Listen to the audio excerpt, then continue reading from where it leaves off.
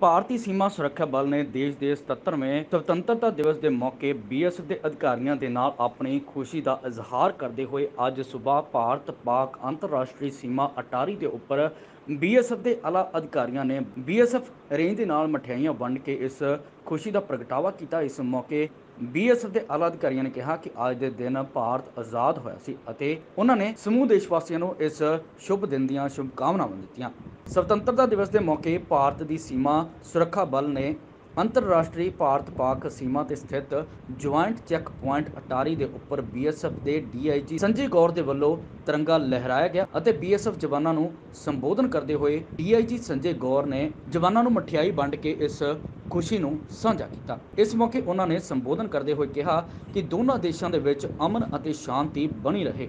ਅਤੇ ਦੇਸ਼ ਦੀ ਸੁਰੱਖਿਆ ਦੇ ਨਾਲ ਕਿਸੇ ਨੂੰ ਵੀ ਖਿਲਵਾੜ ਨਹੀਂ ਕਰਨ ਦੇਣਾ ਚਾਹੀਦਾ ਚਾਹੇ ਉਹ ਪੜੋਸੀ ਮੁਲਕ ਹੀ ਕਿਉਂ ਨਾ ਹੋਵੇ the countrymen on this day and what will be your message to the neighbor on Independence Day? सबसे पहले तो मैं सभी देशवासियों को डीजी बीएसएफ व बीएसएफ के प्रत्येक कार्मिक और उनके परिवारजनों की तरफ से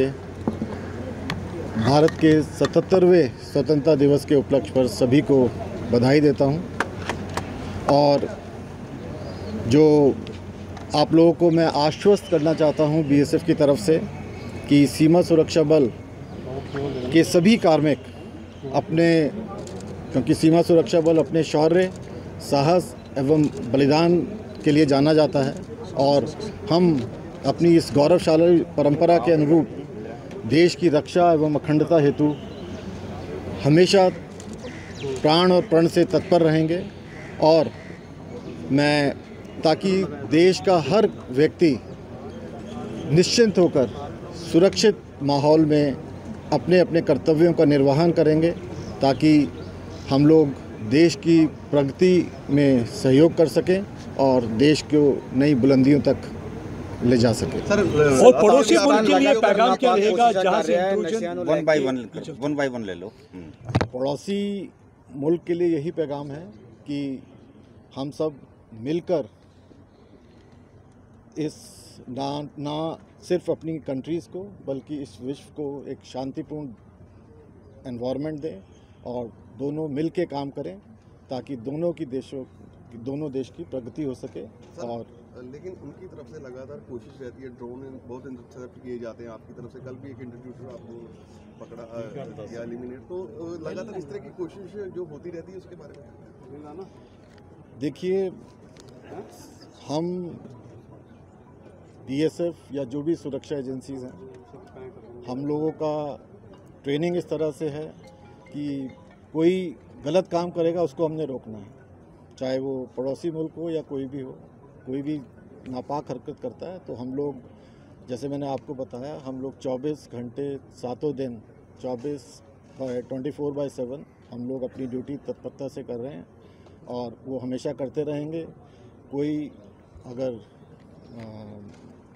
अनस्टेबिलिटी करने की कोशिश करेगा तो हम लोग उसका मुँह तोड़ जवाब सर जवानों के लिए क्या कहना चाहते हैं? जो दिन रात सर्दी गर्मी में रहते हैं उनके लिए आप क्या कहना अपने जवानों पर पूरे बीएसएफ परिवार पर हमको बहुत गर्व है